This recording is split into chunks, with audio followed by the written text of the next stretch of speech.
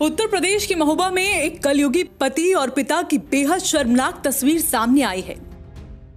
छह साल की मासूम बेटी से घिनौनी वारदात पर आमदा पति का विरोध करने पर दरिंदे ने पत्नी और मासूम बच्चों को मारपीट कर घर से बाहर निकाल दिया।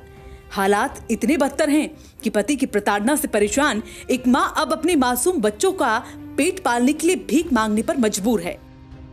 लड़की के साथ गलत काम करता है। और दूसरी बात, लड़के को मार मार के विकलांग कर दिया है। और सर मुझे भी सोचता कि इसको जान से मार दें, जान से मारने की कोशिश में फिर रहा, मुझे घर से निकाल दिया मार पीट करके। सर चार दिन से मैं भूखी पड़ी यहाँ से मेरे बच्चे की हालत बिगड़ रही है, मैं भी सब पेट से मर रही हूँ भूख से। खैर, पति की प्रताड़ना से परेशान एक माँ किस तरह अपने मासूम बच्चों के साथ भागकर सभी की जान बचाने में सफल हुई? मगर पीड़ित महिला को पुलिस की दर से भी न्याय नहीं मिला।